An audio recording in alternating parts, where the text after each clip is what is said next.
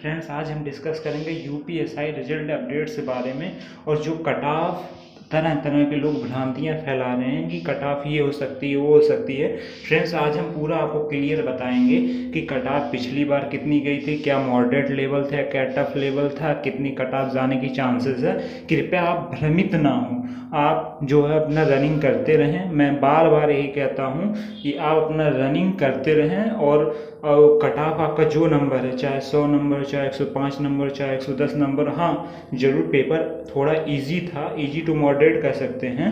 Hard moderate to hard नहीं कह सकते लेकिन आप भ्रांतियों में और एक इल्यूज़न में ना रहें कि हमारा नहीं होगा, उनका हो जाएगा तो आप कंटिन्यू दौड़ करते रहिए। अगर देखिए, अगर आपका होता नहीं तो कम से कम आपका फ़िज़िकल तो मेंटेन हो जाएगा। आने वाले यूपी पुलिस हैं, दिल्ली पुलिस हैं, फिर S S C G D दो हज़ार तेईस में रहेगा। तो आप उसके लिए भी प्रिपेयर कर सकते हैं। फिर किसी ने सी आई में भरा होगा तो उसको देखो फ़िज़िकल है। एस एस बी वाला उसमें भी फ़िज़िकल है। तो आप उसमें जा सकते हैं, ठीक है? तो हम कट ऑफ़ दो हज़ार सत्रह की बात कर लेते हैं। जैसे देखिए 2017 में जो था, जनरल का कितना था? जनरल का था दो सौ बावन से दो सौ बावन पॉइंट फोर सिक्स था 2017 की कटा फ्रेंड्स, देखो इसमें 50 परसेंट था।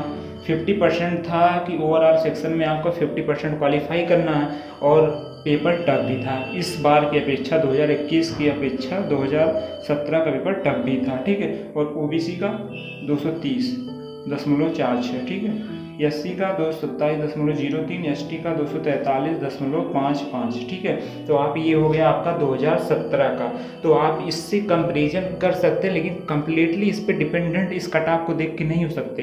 की बार जो है थर्टी फाइव परसेंट है। दो हज़ार इक्कीस में क्या है? थर्टी फाइव परसेंट ओनली है। और पिछली बार कितना गया था? पिछली बार गया था आपका दो सौ दो सौ बावन गया था, ठीक है? तो अब की बार कितना हो गया? अब की बार है दो सौ पचहत्तर से जिसका मान लो 110 नंबर बन रहा है 10 क्वेश्चन सही हो रहा है 275 से 90 ओबीसी दो सौ पैंसठ से 275 ईडब्ल्यूएस 250 से दो सौ छियासठ एस सी दो सौ पचपन से दो सौ तिरसठ एस टी जो है दो सौ सैंतालीस से दो सौ पचपन।